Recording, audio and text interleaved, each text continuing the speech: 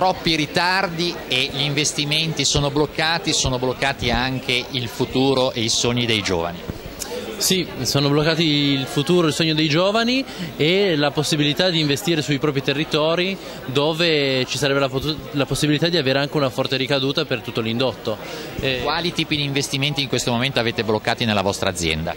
Ma eh, noi al momento appunto visto i ritardi stiamo temporeggiando anche perché non sappiamo come, eh, come potrà andare in futuro e quindi vorremmo prima capire di, mh, mm, come, come, riuscire a, a, non trovarsi poi in una situazione di impasse come ci trovano gli altri nostri colleghi che invece eh, appunto eh, hanno incominciato da subito a fare degli investimenti e si sono trovati poi alla fine ehm, quasi eh, bloccati eh, totalmente senza poter poi andare avanti e poter fare appunto gli investimenti che dovevano fare. Quali opportunità state perdendo? Quali opportunità avreste sul territorio di sviluppare? Beh, eh, nel nostro caso ad esempio la possibilità di fare eh, degli investimenti per il recupero di una, di una, mm, di una cultura come l'asparago eh, di Albenga che rimane eh, una delle cose più, più curiose e più importanti eh, che, che, abbiamo proprio sul territorio albenganese e che se riuscissimo ad avere delle, un, un, aiuto da parte della regione, da parte del PSR